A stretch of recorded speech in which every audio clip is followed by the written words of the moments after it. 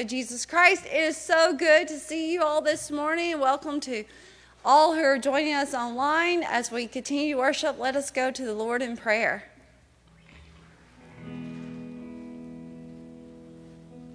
Gracious, loving God, God, we give you thanks that we can gather together as brothers and sisters in Christ, as your body, God, and worship you.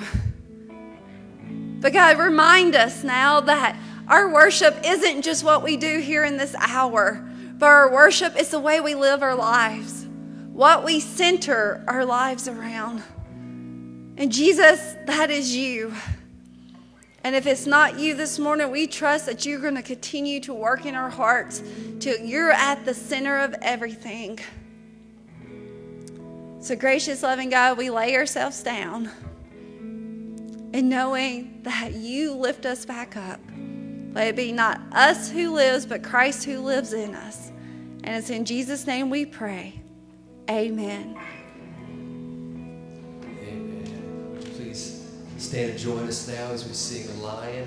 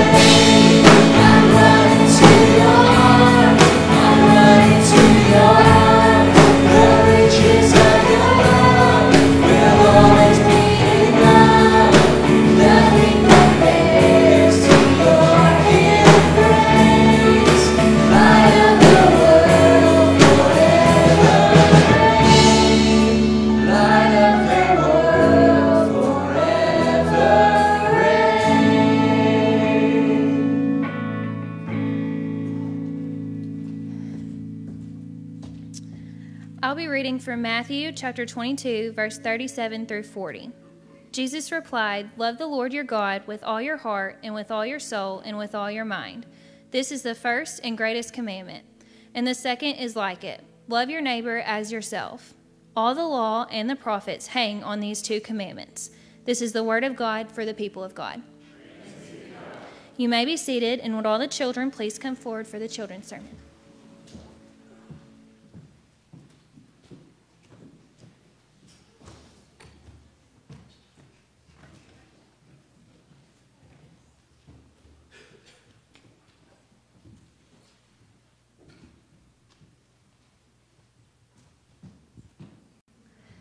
Good morning. How's everybody today? Good. All right, just a couple of reminders. We still have pumpkins up here that are to go to shut ins in the community. So if you have a neighbor or someone that you know, please take a pumpkin at the end of service and take it with you. Drop it off on their porch. You don't have to even go in, knock on the door, or anything. Just leave it there as a nice surprise and it has a little tag that tells them that we're praying for them and that it's from the children and youth of Three Crosses in Pleasant Grove. And also, Fall Festival is this Wednesday, 5:30 to 7:30. So we're going to have lots of fun and we're going to be going around to the Sunday school classes to talk more to the adults about Fall Festival as well.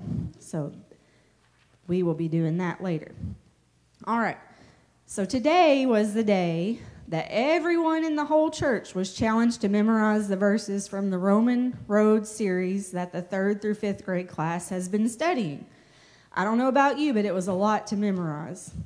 And I even failed at this task. So today we will not be displaying our memorization skills, but we will be sharing about what we learned.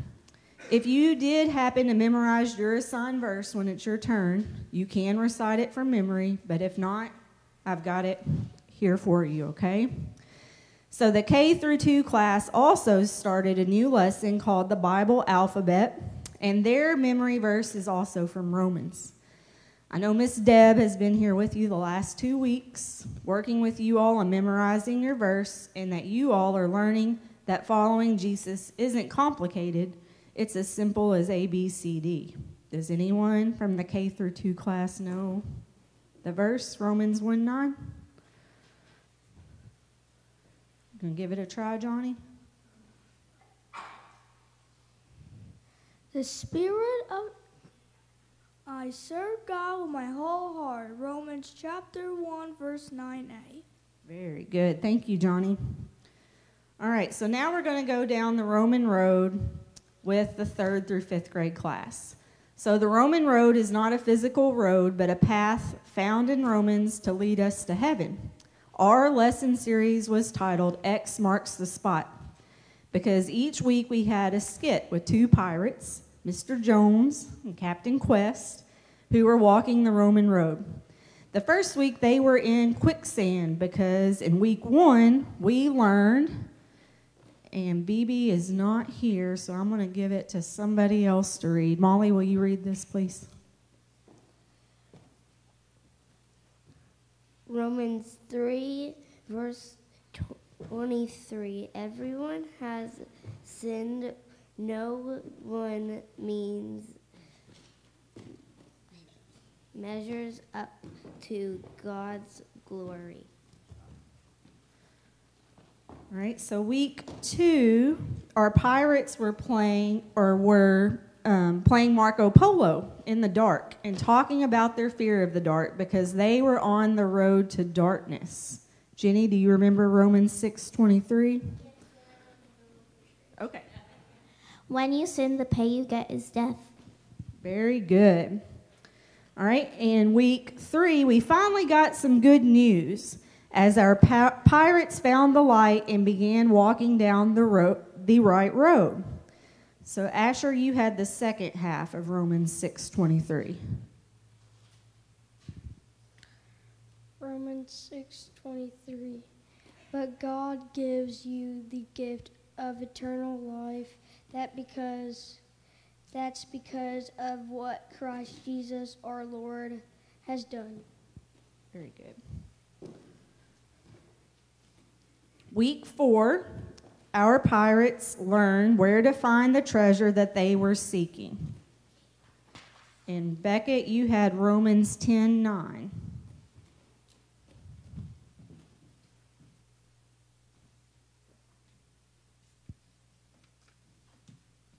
Romans 10 9. Believe in your heart that God raised him from the dead, then you will be saved. Very good. All right. And then week six, no, week five, our pirates were finally able to chill out in paradise with some lemonade because of Romans 5 1. And this was Emily's verse. Emily isn't here. Um, I'll go ahead and let you do both of them, Quinn, yours and hers. We have been made right with God because of our faith. Now we have peace with Him because of our Lord Jesus Christ. Very good. In week six, we learned that the pirates learned that no one can steal their treasure because of Romans 8:38 through 39. I am absolutely sure that not even death or life, life can separate us from God's love, not even angels or demons. The present of the future or any powers can separate us. Nothing at all can separate us from God's love. That's because of that's because of what Jesus our Lord has done. All right, so please give it up to the children for what they have been learning in Sunday school. Okay. All right, so that's all. I'm going to say a quick prayer to dismiss us, and then you can go back to your seats, okay? Dear God, we praise you and thank you so much for the parents bringing the children here to learn more about you. Lord, I pray that they will remember all the steps on the Roman road and that they will seek salvation and also teach others on how to become saved as well. In your name we pray. Amen. What do we say to the congregation? May the Lord be with you. And also with you.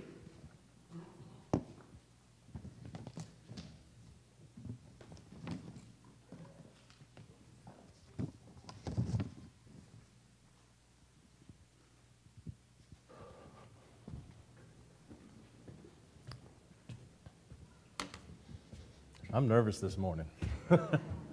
and uh, I, th- I think it's because I'm talking about something that I've not figured out completely yet, right? It's not something that I've got right. And uh, that definitely makes things um a little different. But I do have something that I want to start off with that'll help me, I think, set this up. When my grandfather passed, my dad wrote a poem, which I didn't know my dad could do. Um, and he wrote a poem about my grandfather. Uh, and we read it at his funeral. And it goes like this it's titled Our Hero. And it says, He taught us to be men, that a man treats everyone with respect, that a man's word is his bond, that it's okay for a man to cry, that a man provides for his family, that a man honors his Lord and teaches his children about him. He taught us to be husbands, that a husband loves his wife, that she's to be honored and provided for, that she's his equal, not his possession. And he taught us to be fathers, that you teach by example, that you discipline with love, not anger, that you build your children's self esteem with praise, and the family is more important than possessions. He taught us to be men, our hero, our dad. And it, and it gets me every time I read it. It moves me to my core. And I realized that as I was putting my notes together for today that you probably don't have the same reaction that I have because this is personal to me, right? It's personal to my family. And so when I read each one of these lines, I'm picturing something that they've told me, either my father or my grandfather. I'm picturing life events when I was walking with them. And I've had the privilege of uh, growing up with both my father and my grandfather. Right? I was as, got to know them as a child, I got to know them as a teenager, and even as an adult. And so, those experiences that I had with them, some of them were at my best, some of them were at my worst, and they seen all of those. And I can now look back as a mature adult and see what they were trying to do and what I was learning at that spot in my life. And that kind of relationship is what Pastor Lee was talking to us about last week, right? If we're talking about a relationship that you are walking with someone, that when you look back on the events, that you remember them, you remember the good things, the bad things that you went through, and you remember how they were there with us. And so I want you this morning to be thinking about who that person is in your life. I want you to figure out that relationship, right? It might not be a father or a grandfather. It might not be, a, it could be a mother, but it might be a mother like or a father like influence. It might be a friend or a spouse. Um, but uh, you need to have that relationship in your mind as we go out and we talk about this so that you are thinking about a life with Christ in a physical, true format. Because if we're going to listen to God and to Christ, we have to have that same type of relationship with Christ. So when we open up this book, this isn't just a poem for my family, and it's not just special to me, but when you open up this book, you're reading the words of somebody that you have walked with and that are taught you things. I should read these words, and when I do, they should hit me to my deepest core of my heart, to the spot where I to the spot where I do the things that I shouldn't, and it should dig into that pain, and it should show me those things. But the good thing is, is that after it finds those things, now it's a healing process, and it heals those things. And so, just like when I look back at the fact that my grandfather's not here with me today, but I remember the things that I, he walked with me with. And I remember the joys that come along with that and how that he helped me get to where I am today. And so when we look at the things and the pain in this book and the pain in our hearts, we can have that connection that says, you know what, but there's joy and there's peace in these words and there's love. So that's the kind of relationship that we're talking about today.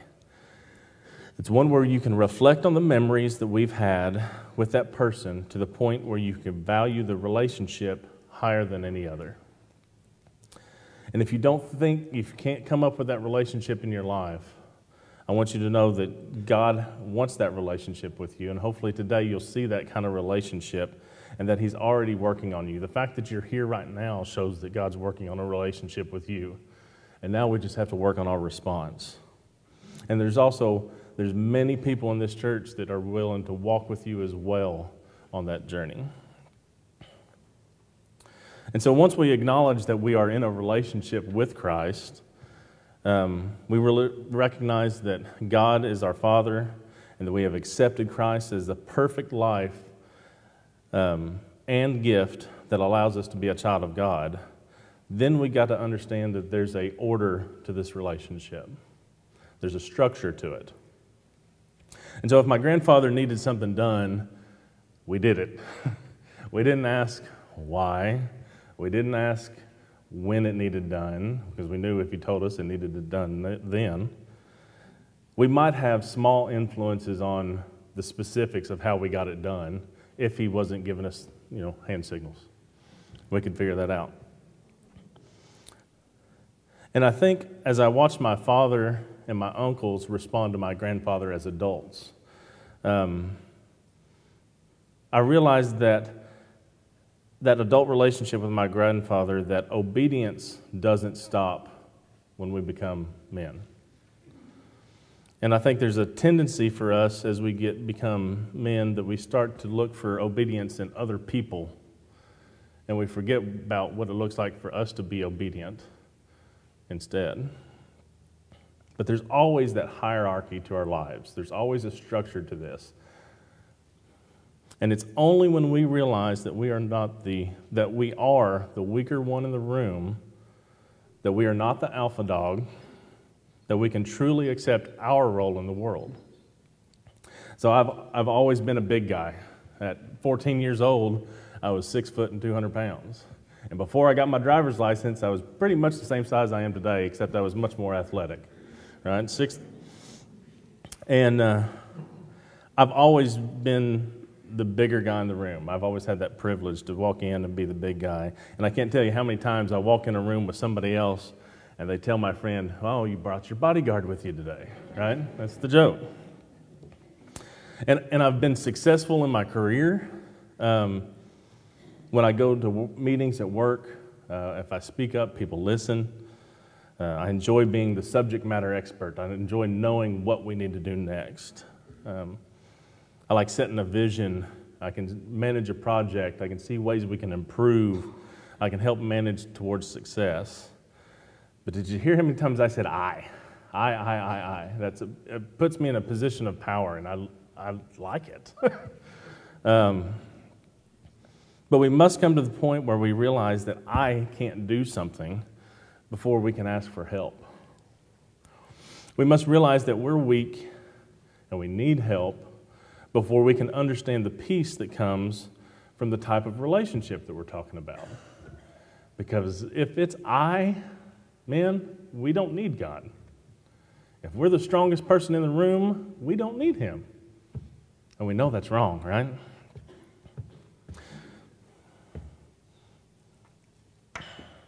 When we accept that fact that we are weak and that we need Him as men, then we can truly have an encounter with God where we truly receive agape love. And I've probably forgot to click through some slides. There we go. Agape love.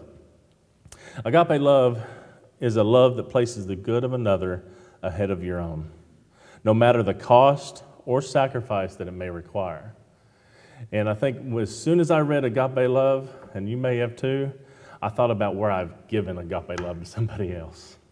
I'm still thinking as a man, well, I did that yesterday. I gave some agape love out. But that's not what we're talking about. That's not the point. The point isn't about us giving, it's about us receiving. And so I tried to rewrite this definition in a way that allows us to receive it. A love that places my well being ahead of the Son of God. No matter what I've done, no matter what it costs, no matter the sacrifice that it required, He still loves me that much. And when we accept that love, we accept the sacrifice that was made. If we just say that Jesus' love, um, Jesus loves me without acknowledging the pain and the suffering and the sacrificial death that came with that love, we've not accepted Jesus. You can't just accept the love part and not accept the pain and the suffering and the sacrifice. And if we can't accept it, we can't give it away to our wives and our children and to others.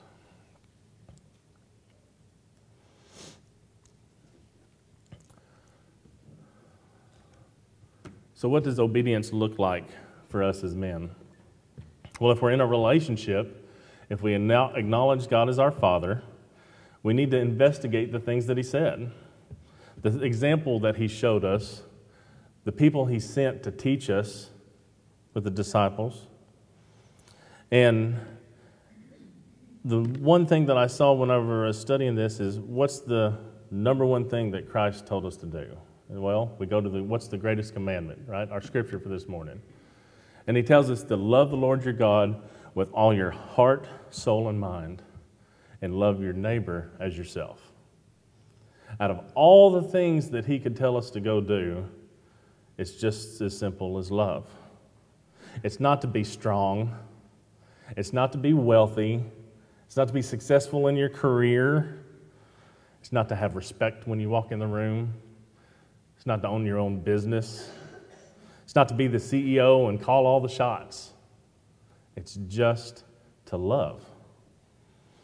And when Christ gave this uh, response to the Pharisees. He was, had been sur- tested by the Sadducees. He was surrounded by the Pharisees, men in high places, right?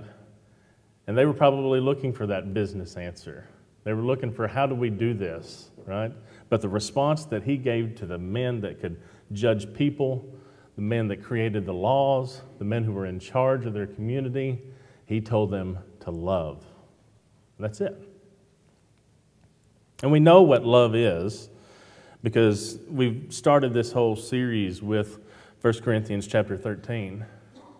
And it goes through love is patient and it's kind. It doesn't envy and it doesn't boast. It's not proud. Doesn't dishonor others.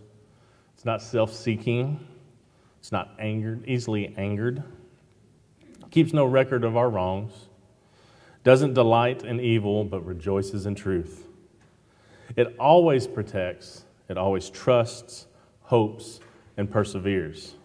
And it never fails.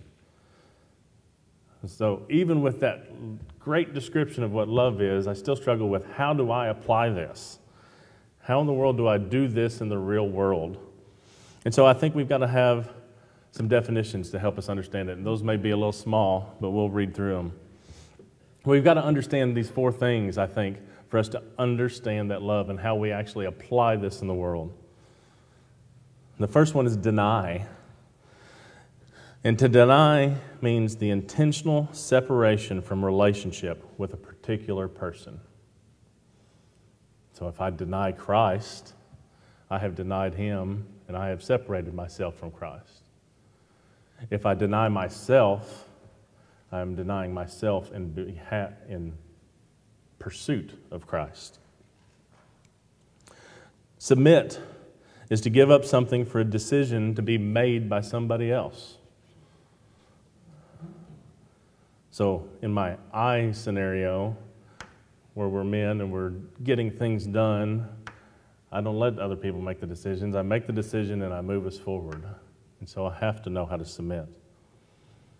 Surrender is to give up something or give control of something to someone else. So it's not just letting them make the decision, but it's letting them run the project, letting them lead. I have to sit back and let them be in charge. And to sacrifice is to give up something that is so valuable to me in order to help another person. And we know that the sacrifice that we're talking about with Christ is he took all the way to giving his life willingly for us. Right? What is our sacrifice? We have to understand these definitions to apply the love of Christ to others. And if you've never accepted the true life giving love that Christ offers, how are you going to give that love to your wife, to your children, to others, and to yourself?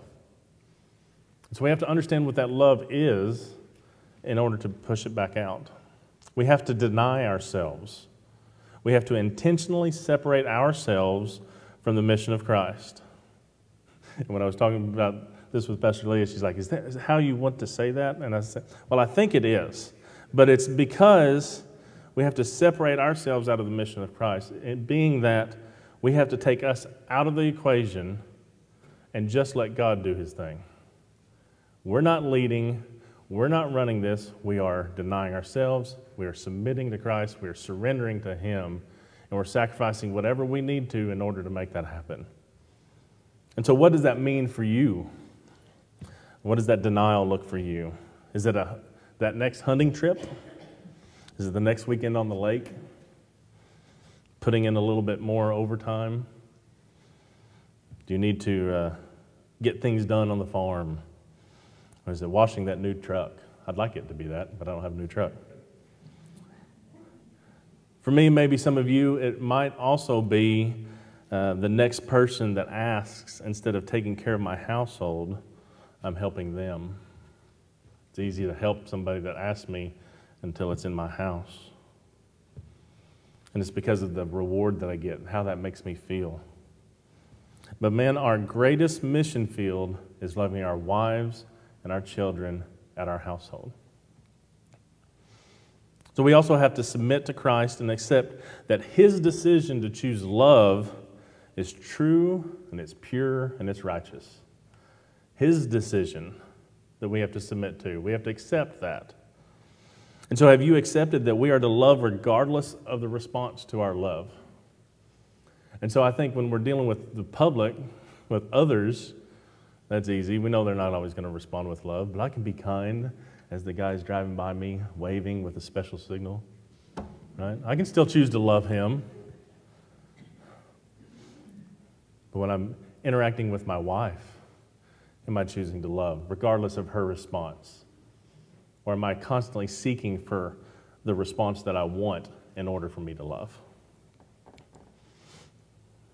In Matthew 5, Christ tells us that if you love those who love you, what reward will you get?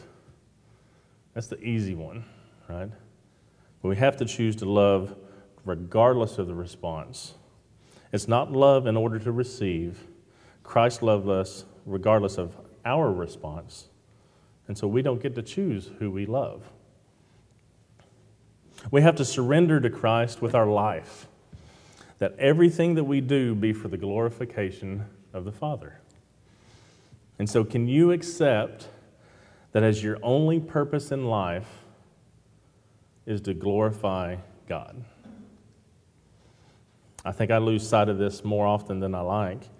Um, and it's easy when I'm here doing band or working with youth or doing this that I can see, okay, I'm, I'm doing it. I'm checking boxes. I'm doing this. But when I walk out and I do work, I'm craving that praise, right? And so I have to accept that what I'm doing is not for me. What I'm doing is for the glory of God. We have to sacrifice all that which is most valuable to this flesh in order to love like Christ and to love like Christ loved the church.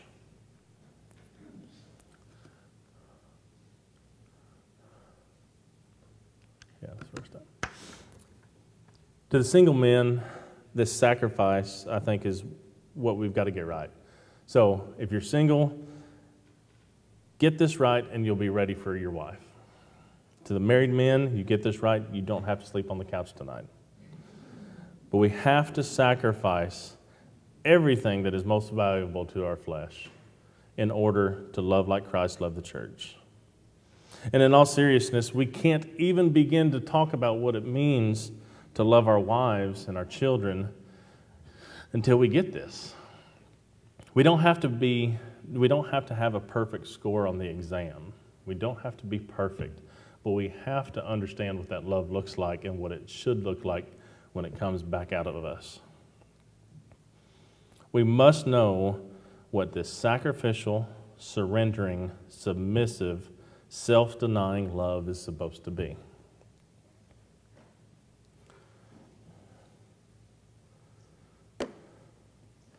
So, the next part I want to look at is Ephesians chapter 5. And as I was thinking about that, I was I typically don't bring my Bible to church. I bring my iPad and I'd use my digital Bible, right? Um, I actually had to get the dust off of this to bring it in here today. And I, I was about to put Ephesians 5 up on the slides, and I decided not to because I, it hit me with an example of If I ask everybody to open up your Bible and turn to Ephesians 5 with me, what is your response? And men, what do we do? Have we got our phone? And that's great. But are we prepared at all places, at church, to open our book and do the hard thing of opening this up and being ready to study? We're setting examples. And so I want to turn to Ephesians chapter 5. And Ephesians chapter 5 is a, a lesson to us on Christian households. And it tells us what we're, how we're supposed to lead. And what I thought was interesting is that, you know, when Paul was talking about this, and he's given instructions about our wives, um, That a wife was not something that was, um, you did not get your wife in the same way that most of us have selected our wives, with that love before it starts. Right? It was a totally different relationship. And so I want us to think about that. But in Ephesians chapter 5, this Christian household part, it starts around verse 22 or 21. Um, but verse 22, I think, is probably, as a men, our, our favorite verse. Does anybody recognize Ephesians chapter 5, verse 22? Wives, submit yourselves to your own husbands as you do to the Lord. right? That's the one that we want to jump on and we're like, yes. Remember that one, Aaron. That's the one you need to remember. Um, but it, the instructions didn't start at verse 22. The instructions start at verse 21. And it's submit to one another out of reverence for Christ. And so in this instructions, we can't have a wife, we can't go into that relationship until we figure out how to submit to one another in this setting and outside of these walls.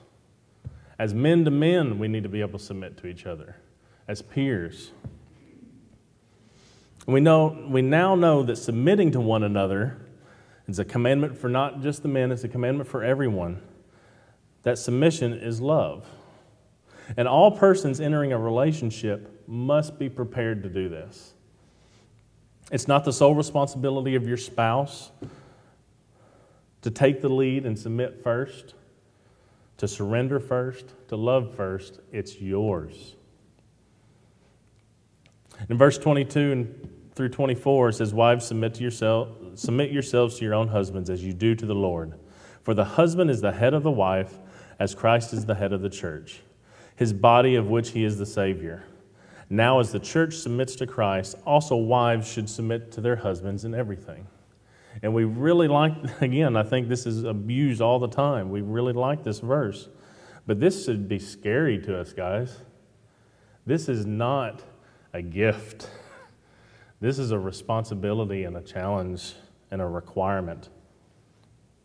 What I want us to focus on as men is that this is not a description of superiority. This is a very big assignment for us. The body cannot move without the head. And this description here says, For the husband is the head of the wife as Christ is the head of the church. And so we have to love in the way that he loves. And if we're the head, the body cannot move without the head unless you're a chicken. Now, I've not actually seen that happen, but I hear that's a thing, right? And so, unless walk, want our families to walk around like chickens with their head cut off, we've got to be in. We've got to be there. Our wives, our children, our families cannot grow if we're absent, if we're not thinking,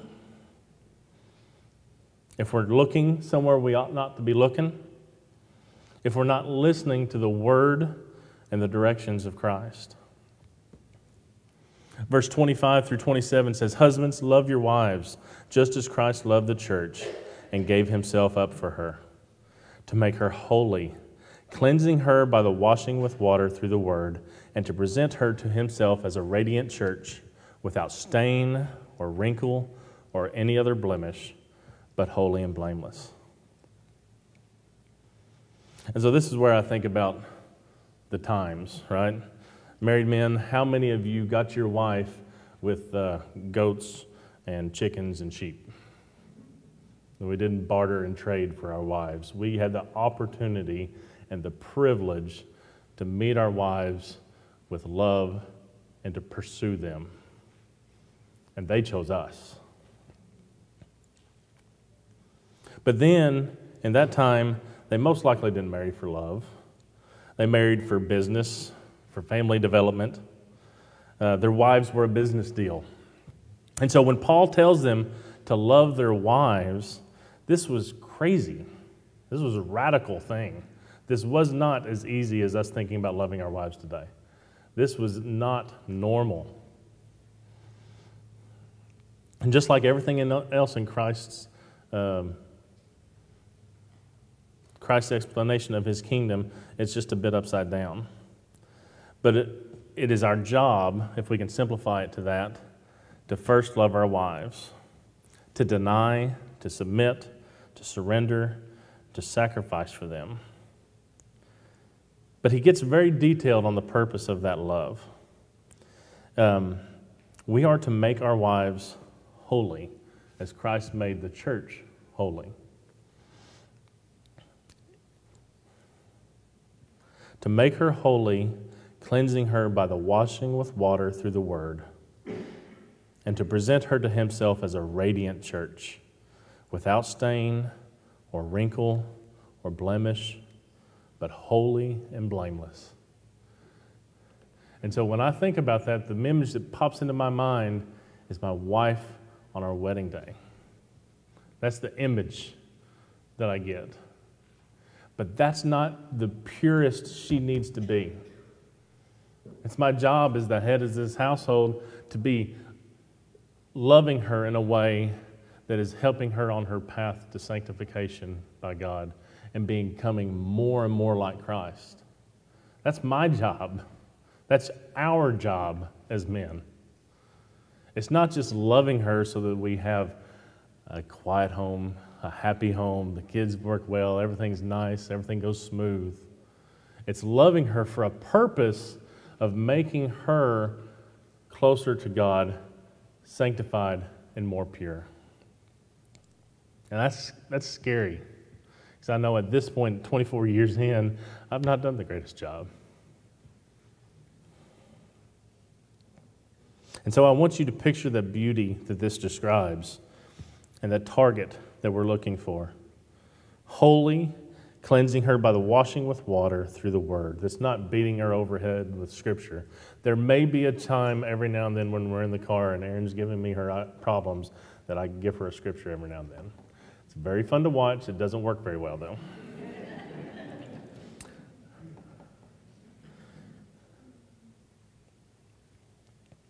but we are responsible for her sanctification. It's not a position of authority or a power that we have over our wives because we are first to submit to each other. So, guess what? She's also responsible for my sanctification. Our submission is supposed to be bringing us both closer to Christ, both working towards unity with Christ. And that submission, if done with the love of Christ, means that we both get there. Verse 28 on through the end of this section is in the same way, husbands ought to love their wives as their own bodies. He who loves his wife loves himself. And after all, no one ever hated their own body, but they feed and they care for their body, just as Christ does the church. For we are members of the body. And for this reason, a man will leave his father and mother and be uni- united to his wife, and the two will become one flesh. And this is a profound mystery, but I'm talking about Christ and the church. However, each one of you also must love his wife as he loves himself, and the wife must respect her husband.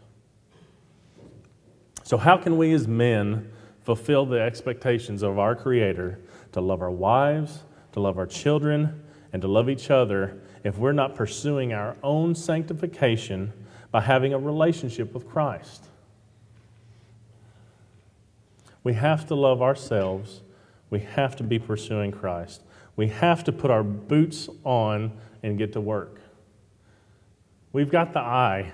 We know how to go out there and get things done. And if, God forbid, something was bad to happen outside, I know that the men in this room would step up and we would do everything we could to protect the people in this church. That's why we got to do this. We have to because our wives and our children's and our friends' lives depend on it.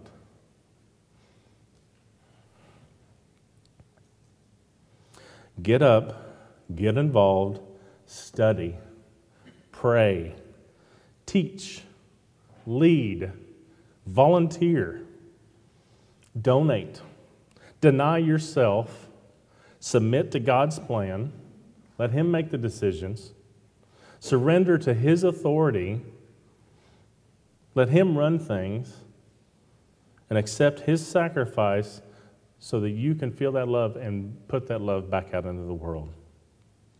Wake up, sleeper, rise from the dead, and Christ will shine upon you. Let us pray.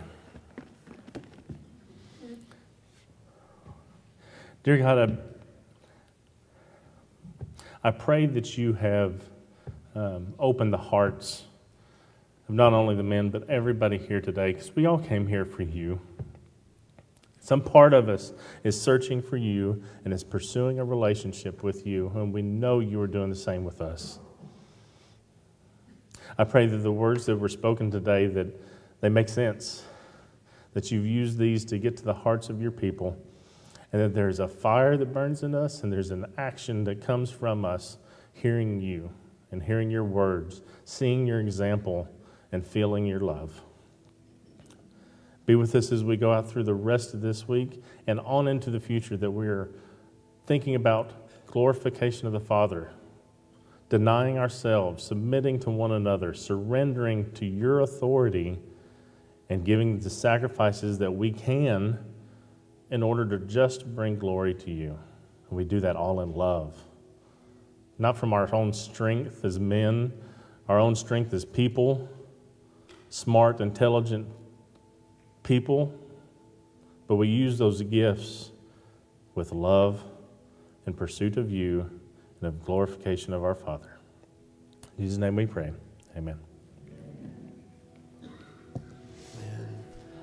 Would you please stand and join us now as we sing our closing song, Build My Life?